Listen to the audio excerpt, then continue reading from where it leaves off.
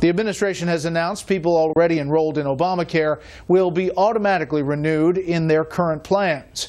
Tonight, Chief National Correspondent Jim Angle tells us that offers convenience, but not without some risk.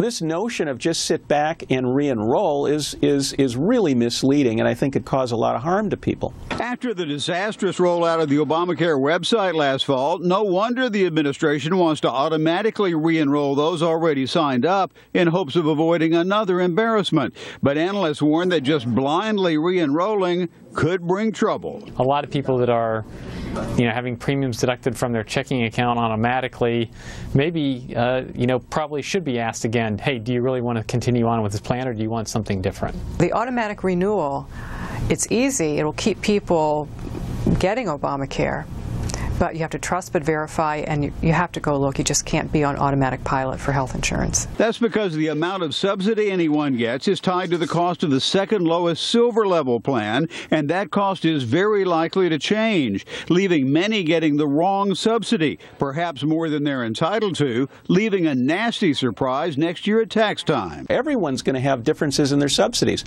The, the vast majority really need, really probably need to change plans in order to continue with the same same out-of-pocket premium.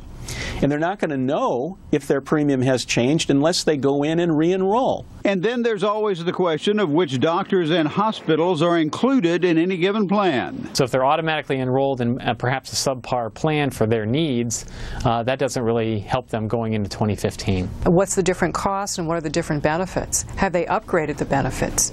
Or have they dropped providers, in this case of healthcare, out of the network? Health insurance is much more complicated and much harder to change once you're in a plan. And that could be important because one way Obamacare kept premiums down was to limit people to narrow networks. And uh, those networks leave out the best doctors, they leave out the best hospitals. A lot of those plans charge you extra if you need an expensive drug for your cancer treatment, for example.